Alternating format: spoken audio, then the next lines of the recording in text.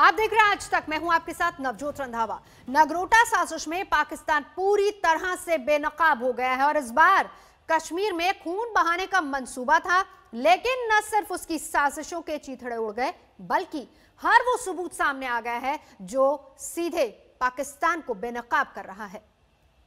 सबूत नंबर एक, digital mobile radio, company micro electronics, Pakistan में तैयार। सबूत नंबर दो smartphone, company Q mobile, Pakistan में तैयार। सबूत नंबर तीन, दवाई, कराची की कंपनी, पाकिस्तान में तैयार। सबूत नंबर चार, जूते, पाकिस्तान में तैयार। सबूत नंबर पाँच, वायरलेस सेट, पाकिस्तान में तैयार।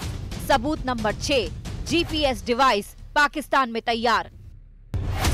पाकिस्तान फिर बेनकाब हो गया। उसकी आतंकी साजिश की पोल खुल गई। उसके नापाक मंसूबों के चीथड़े उड़ गए। इस बार पाकिस्तान बच नहीं सकता है।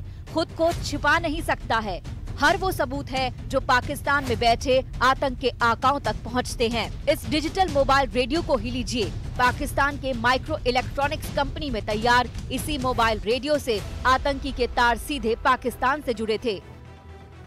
मुंबई के 26-11 वाले हमले की तरह इस बार भी आतंकी लगातार पाकिस्तान में बैठे अपने आकाओं से आदेश दे रहे थे। इन संदेशों को ही देख लीजिए। पाकिस्तान में बैठे आतंक के आका पूछ रहे हैं कि कहाँ पहुँचे? फिर बता देंगे कहाँ पहुँचे। क्या सूरत हाल है? कोई मुश्किल तो नहीं। सुरक्षा एजेंसियों को शक है। ये मैसेज पाकिस्तान के शकरदर से भेजा गया। जैश ए मोहम्मद के चार आतंकियों ने सांबा सेक्टर से इन्फिल्ट्रेट किया।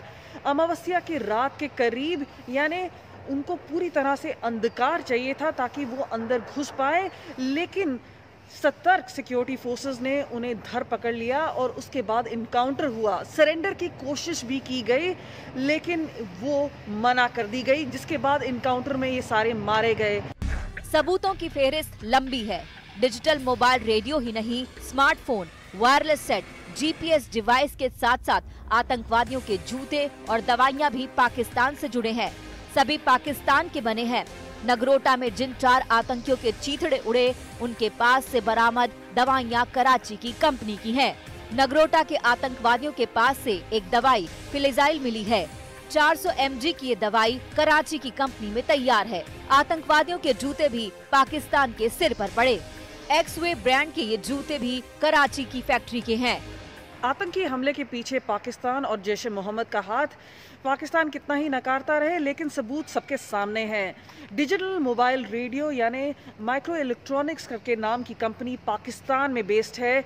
उसके अलावा हम डिजिटल एविडेंस की तो बात कर ही रहे हैं, जहाँ पे पाकिस्तानी आतंकी अपने हैंडलर्स को बातचीत कर रहे थे। वो सब अब रिकॉर्डिंग एविडेंस में है और उसके साथ साथ मेड इन पाकिस्तान मेडिसिन यानी दवाइयों से लेके जूते तक पाकिस्तान के इम्प्रिंट हैं। नगरोटा के आतंकी अंतर्राष्ट्रीय सीमा पार कर दक्षिणी सांबा के हाईवे तक पहुँच गए थे।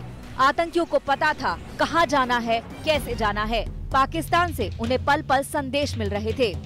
अमावस की दरमियानी रात को आतंकियों ने अंधेरे का फ़ायदा उठाकर सीमा पार की।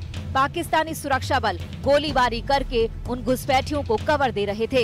आठ साल पुराने फॉर्मूले पर पाकिस्तान इस बार कश्मीर में खूनी खेल खेलना चाहता था, लेकिन इस बार न्यू इंडिया से पाला पड़ा। उनके मंसूबे तार तार कर दिए गए, आतंकियों के चिथड़े उड़ा दिए गए। कमलजीत संधू के साथ ब्यूरो रिपोर्ट आज तक। नमस्कार, मैं हूँ अंजना ओम कश्यप हमें उम्मीद है ये वीडियो आपको पसंद आया होगा। लेटेस्ट खबरों के लिए यूँ ही देखते रहिए आज तक और इस वीडियो के पसंद आने पर लाइक शेयर एंड सब्सक्राइब करना ना भूलें।